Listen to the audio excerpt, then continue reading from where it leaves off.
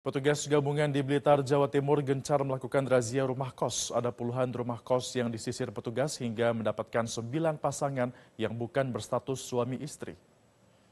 Petugas gabungan Polres Blitar, Kota Satpol PP dan juga TNI Kota Blitar menggelar razia terhadap puluhan rumah kos yang terindikasi digunakan untuk perbuatan mesum dan kumpul kebo.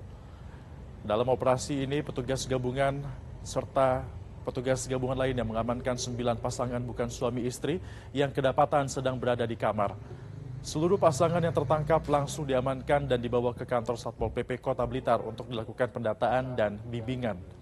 Polres Blitar Kota menyatakan akan terus melangsungkan razia kos-kosan sebagai upaya untuk menjaga ketertiban dan tindakan asusila.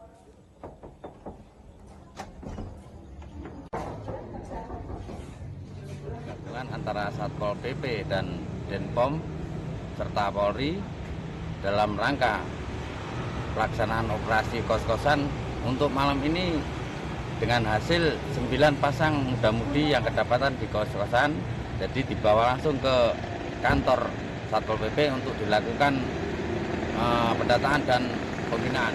Jelajahi cara baru mendapatkan informasi. Download Metro TV Extend sekarang.